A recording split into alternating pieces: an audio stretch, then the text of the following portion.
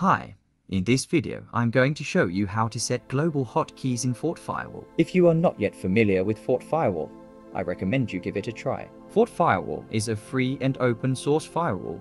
I used to use Simple, but recently switched to Fort Firewall and am very happy with it. Fort Firewall is an open source application. If there are many of you interested in learning more about this free firewall, leave me a comment and maybe I'll make a longer video about it.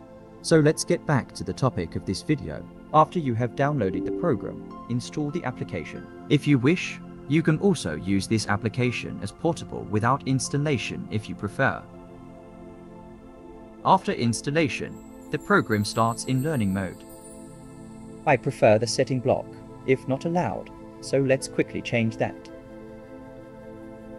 The Edge browser is a secure application that does not work properly without internet access. To block an application from using the internet, simply select Block and press OK.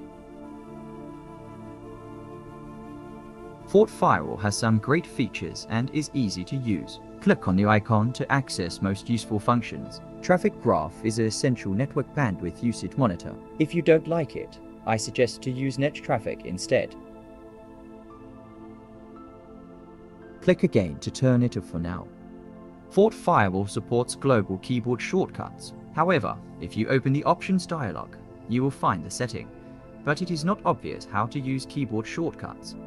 First, of course, make sure to enable global hotkeys, then press Apply. If you look through the settings in the other tabs, you won't find anything that helps.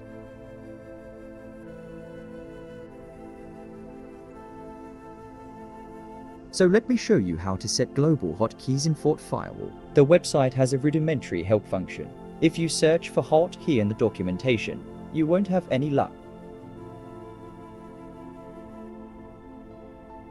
The same applies to the FAQ section. In the closed issues section, you will find some hints and examples. Open Windows Explorer and navigate to AppData Local.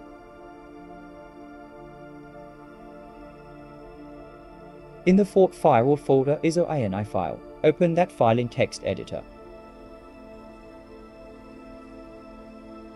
Define custom hotkeys in the hotkey section of the INI file. First enter the dialog or function followed by equals, then enter the actual hotkey. Control plus Alt plus Shift plus O should open the options dialog.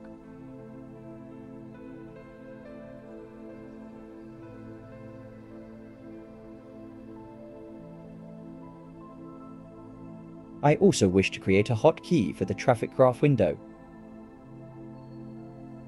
Save the file, then restart Fort Firewall to apply the settings.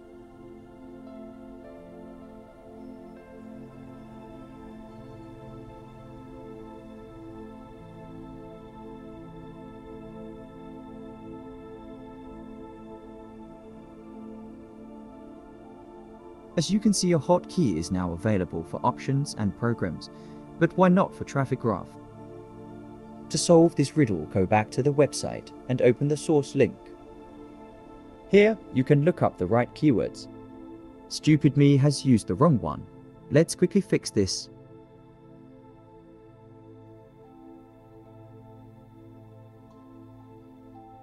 Save and restart the application.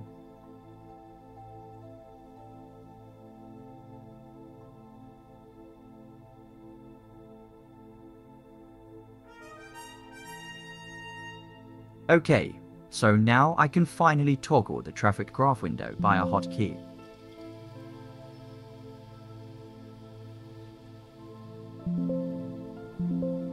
Okay folks, that was my quick introduction to Fort Firewall and how to set custom hotkeys. Go and get a copy of the program yourself and give it a try. I like it a lot. I hope you liked the video. See you